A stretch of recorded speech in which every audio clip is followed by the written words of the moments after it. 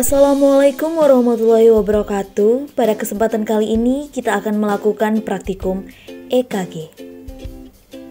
Sebelum kita melakukan praktikum EKG, kita harus tahu apa itu EKG. EKG atau elektrokardiogram adalah aktivitas elektrikal jantung yang ditampilkan dalam bentuk grafik dan alat yang digunakan untuk merekam disebut elektrokardiografi. Praktikum EKG bertujuan agar mahasiswa dapat memahami aktivitas listrik jantung. Alat dan bahan pada praktikum EKG.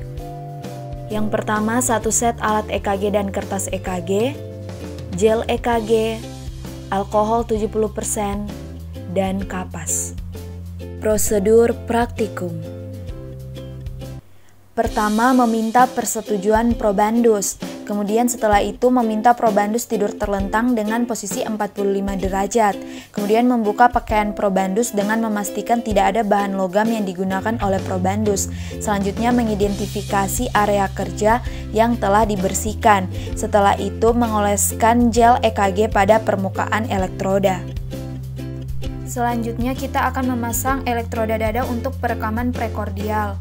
V1 terletak pada garis parasternal kanan interkosta 4, kemudian V2 terletak pada garis parasternal kiri interkosta 4. Sebelum memasang V3 kita pasang V4 terlebih dahulu, terletak pada garis mid klavikula kiri interkosta 5. Baik, setelah terpasang V4, kita akan pasang V3 yaitu titik tengah antara V2 dan V4. Kemudian setelah itu kita pasang V5 yang terletak pada garis aksila anterior yang sejajar dengan V4. Kemudian setelah itu yang terakhir kita pasang V6 yaitu garis tengah aksila yang sejajar dengan V4 dan V5.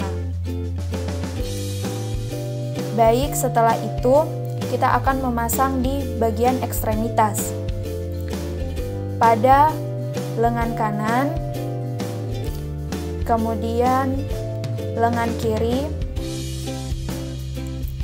kemudian kaki kanan, kemudian kaki kiri.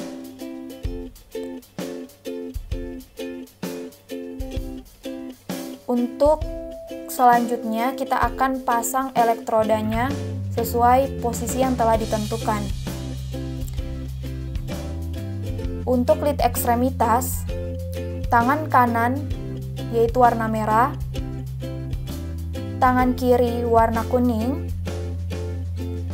kaki kiri warna hijau,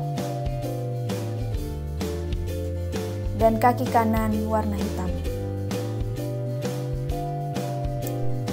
Setelah semua elektroda telah terpasang, selanjutnya kita akan mengaktifkan mesin EKG dan membuat rekaman secara berurutan sesuai dengan pilihan lead yang terdapat pada mesin EKG.